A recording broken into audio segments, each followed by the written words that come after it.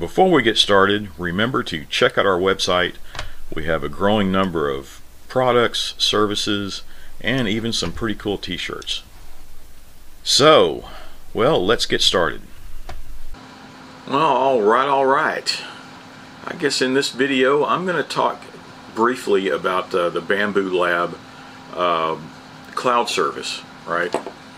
Uh, now, if you have one of the X1 carbons or the P1Ps, P1S, which, whichever one you have, uh, you've probably heard about this. Uh, it was very recent, and and I believe it was the 15th of this month uh, when everybody woke up. There was a lot of guys that woke up and found out that their printer started printing away uh, another file, you know, without them queuing it, right? And in this case, I'm assuming that, you know, the, the printers were on, everything was on. They probably had a print going on. They went to bed um, expecting to have a finished product when they wake up. During that time, like I said, it, they, you know, the, the printer went on without them and printed another copy and probably, you know, banged around whatever was already on the, on, on the bed. Um, and some might have damaged, and I can see how that could uh, that could happen. If it's banging around like that, they could bend the nozzle. They could uh, just anything, right? Um, now I it that did not happen to me. Uh, I was lucky. Uh, I usually have everything turned off at night. I don't like to keep everything on, uh, especially something that handles that high of heat. And no, I think it's way too dangerous. I just take everything. Uh, I take care of everything during the day. I don't leave anything on overnight unless I'm going to be there, right? Well, in this case, I woke up in the morning and I turned on everything trying to get a print going, and it just would not. Uh, the cloud service, you know, it would it would send the file, but it would never reach the printer, right? And I was kind of. Uh, disgruntled to say the least. I mean, I was using one for, for production stuff. I need to keep that thing going.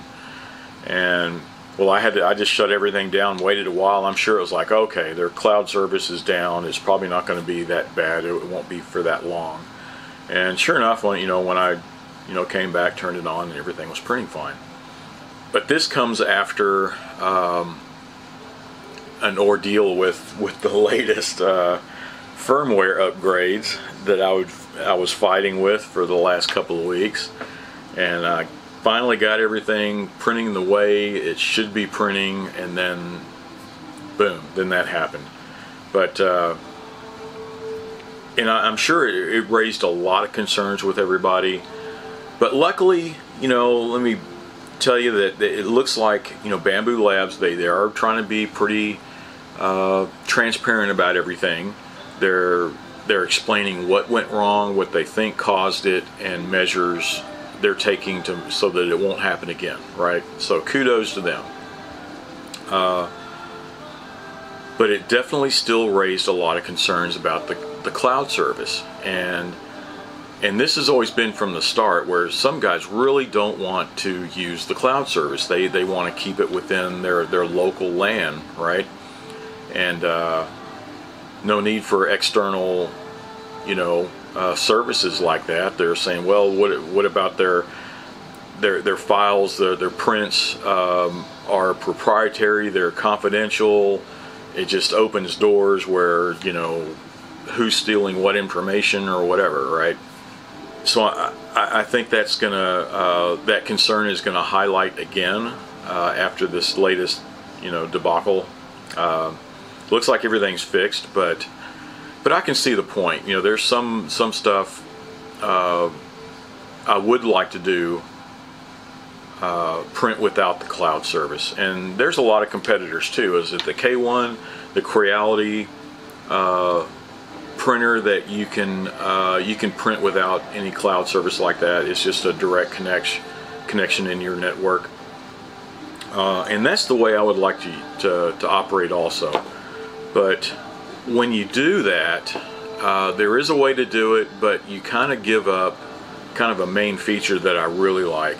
So if you switch over and and and you're not using the cloud service, well, you can't use the the Bambu Lab uh, Handy app, um, which I really like. I mean, because a lot of times I'm not in the same room with the printer, and I like to monitor my work, my and, and progress, and uh, any uh, any errors, failures, anything like that. You're notified right away. Um, and and I carry this with me everywhere I go, and I really really like the Handy, right?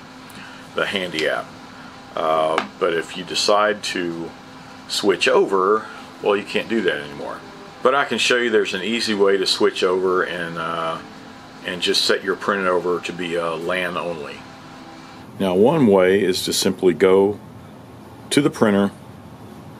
Um, here's the screen. Go to Settings and Network, and there's the LAN only. You just click that over to LAN only, and uh, and that's it, right? Uh, pretty easy. The other way is to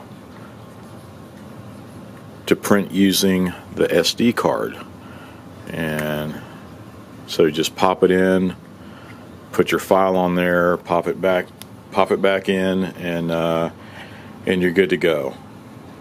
Yeah, so it's pretty easy. It's just uh, flipping the switch or uh, just using your SD card uh, which is no big deal. I was used to that. You know, I have a, you can see behind me, I still have some Ender 3s back there that uh, I have to admit I, I, don't use them a lot anymore, but I keep them for backup. Um, I have the P1P back here, and behind the camera there's the X1 Carbon, and I use them a lot. Right now, I'm I'm prepared to start looking for uh, another printer.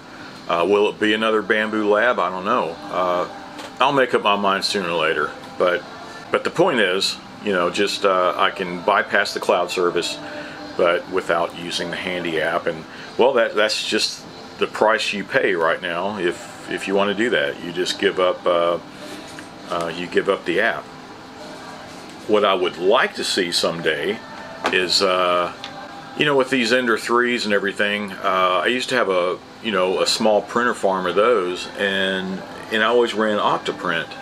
Um, and I'd like to see something like that that would be compatible with the Bambu Lab printers, uh, so that you know whether it be the uh, something like Octoprint, you know, through a, a, Raspberry Pi or something, and so you can monitor your uh, your printers in much the same way. You won't have as much control, maybe, or maybe we will. Yeah, I just like that feature of having the, the camera operating and being able to monitor the progress or any kind of uh, error or fault that happens, you know right away. Yeah, because that's if you have a you know uh, even even just a small print farm or just a few in your house, it's it's almost a must-have to to have an app, right? Just about everything needs an app, right? just about everything these days. Everything's Bluetooth and everything has an app, right?